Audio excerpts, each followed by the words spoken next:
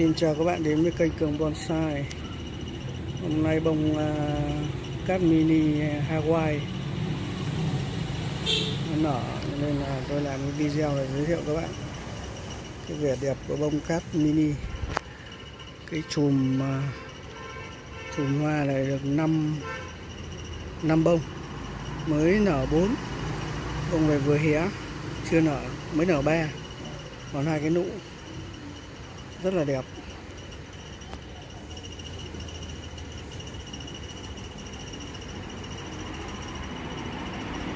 Bông à, cát mini này màu à, xanh vàng.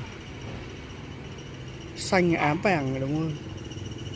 Là một cái bông khá đẹp, đáng để siêu tầm.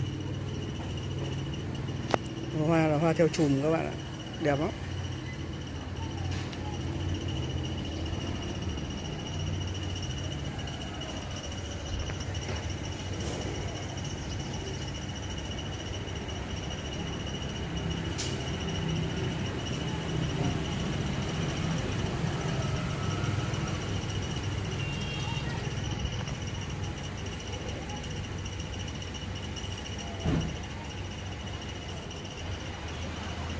Cánh dày với những cái loại cánh dày như này thì là cái ờ, thời gian nở rất là lâu. Cái chỗ này của tôi là để ngoài nắng bị cháy nắng này. cháy mất hai cái ngọn lá rất là tiếc. Cái này đã nở được 5 ngày rồi các bạn ạ.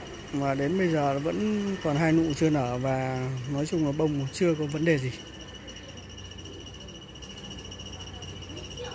Bông cát mini Hawaii rất đẹp.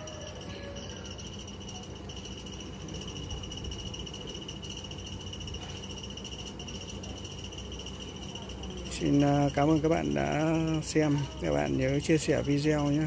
Xin trân trọng cảm ơn.